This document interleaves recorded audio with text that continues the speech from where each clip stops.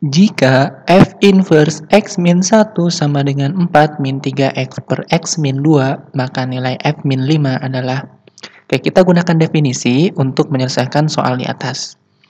Definisi inverse yaitu F X sama dengan Y, maka kalau di inverse menjadi F inverse Y sama dengan X.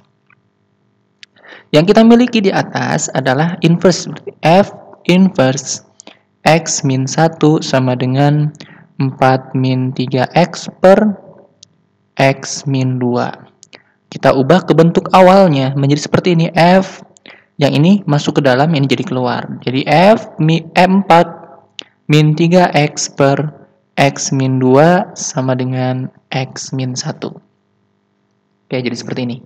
Nah, berikutnya yang ditanyakan di soal adalah F min 5. Kita tulis seperti ini, F min 5 sama dengan F 4 min 3X per X min 2.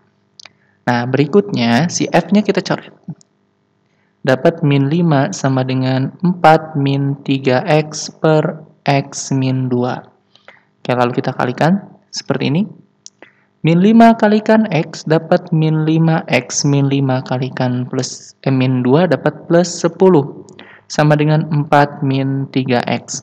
Oke, yang ada x-nya kita gabungkan menjadi min 5x dikurangi ditambah 3x sama dengan 4 min 10.